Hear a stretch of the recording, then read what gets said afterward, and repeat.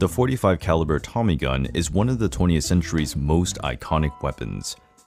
The submachine gun became famous for the sweetheart of gangsters in the 1920s and 30s during the Prohibition in the United States. It was specifically